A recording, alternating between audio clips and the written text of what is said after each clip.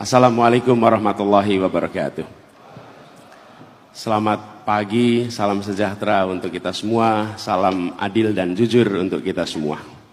Izinkan dalam kesempatan ini kami menyampaikan rasa hormat, terima kasih telah bersama-sama kita hadir untuk menegaskan komitmen bahwa pemilu besok akan diselenggarakan dengan jurdil insya Allah dengan adanya komitmen ini maka bukan saja kita melaksanakan apa yang sudah ditandatangani tapi melaksanakan seluruh ketentuan perundangan khususnya Undang-Undang Nomor 7 tahun 2017. Kami memegang komitmen itu, insya Allah kita akan laksanakan dan kami berharap di dalam pelaksanaan nanti semua kita menyelamatkan setiap suara, mengamankan setiap suara, karena itu bukan suara partai, itu bukan suara capres, itu adalah suara setiap anak bangsa yang berhak menentukan arah masa depan negerinya. Karena itu kami memandang pentingnya menjaga integritas bukan semata-mata kita tahu siapa pemenang pemilu, siapa pemenang pilpres. Tapi tujuan pemilu dan pilpres adalah menghadirkan pemerintah yang berwibawa. Pemerintah yang penuh legitimasi. Pemerintah yang dihormati di dalam negeri dan di luar negeri karena pemerintahannya terbentuk melalui proses pemilu pilpres yang adil, jujur, berintegritas. Jadi tujuan utama dari proses ini semua kami memandang bukan sekedar siapa menang, tapi bagaimana hasilnya dihormati oleh semua dan pemerintahan yang nanti terbentuk adalah pemerintahan yang disadari oleh semua bukan hasil karena proses yang ada curang tapi justru karena hasil yang penuh dengan kejujuran, penuh dengan keadilan dan itu adalah harapan kita semua.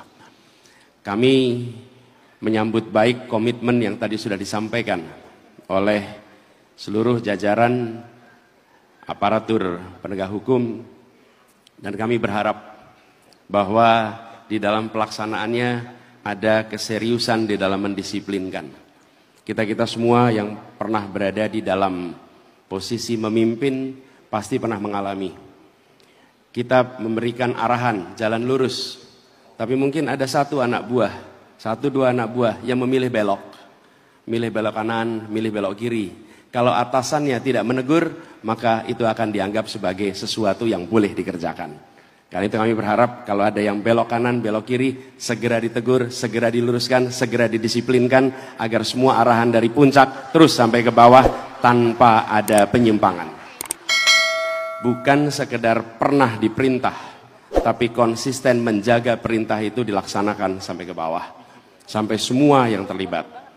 Integritas pemilu kita bukan dinilai dari fakta yang kita tanda tangani, tapi dari peristiwa di lapangan yang sesuai dengan fakta yang kita tanda tangani. Konsistensi di tempat paling ujung itu yang paling penting. Yang berikutnya mari kita sama-sama jaga. Karena baru pada pemilu kali ini, menjelang pilpres kali ini, keramaian tentang kecurangan itu ramai sekali di masyarakat. Saya rasa Bawaslu menyaksikan. Di pemilu-pemilu sebelumnya, tidak banyak kita mendengar orang membicarakan tentang netralitas, membicarakan tentang ketidakjujuran. Tapi pemilu kali ini kita merasakan di masyarakat muncul pertanyaan itu. Apa artinya? Ada penurunan kepercayaan. Saya berharap yang berada di ruang ini, mari kita bersama-sama kembalikan kepercayaan rakyat kepada institusi penyelenggara pemilu. Kita buktikan kepada semua bahwa apa yang berkembang di masyarakat hari ini dijawab dengan netralitas, dijawab dengan konsistensi atas apa yang ditandatangani, apa yang dikatakan undang-undang dilaksanakan sepenuhnya di lapangan. Sehingga kecurigaan yang hari ini berkembang di masyarakat akan bisa pupus karena pilarnya demokrasi adalah kepercayaan. Pilarnya non demokrasi rasa takut. Ketika rasa takut hilang, non demokrasi tumbang. Ketika trust, kepercayaan menurun, demokrasi mengalami penurunan. Pemilu ini untuk menjaga demokrasi kita. Karena itu kepercayaan sebagai pilar demokrasi harus kita jaga sama-sama. Insya Allah menyaksikan komitmen yang ada yang tadi disampaikan juga dari mulai Pak Waslu, KPU sampai kepada Kapolri, Panglima TNI, insya Allah juga Kejaksaan Agung, insya Allah kita sama-sama bisa memulihkan itu. Kami berkomitmen, kami sama-sama berkomitmen. Dan bagi kami yang kami butuhkan dalam perjuangan ini adalah netralitas, kejujuran, integritas itu yang kami butuhkan agar pemilu nanti bisa terselenggara dengan baik dan membuat kita semua datang tanpa ada rasa khawatir, tanpa ada intimidasi, tanpa ada rasa takut. Harapan ini yang kami ingin sampaikan sekaligus juga komitmen yang kami berikan. Semoga kita semua akan memegang sumpah ini dengan sebaik-baiknya.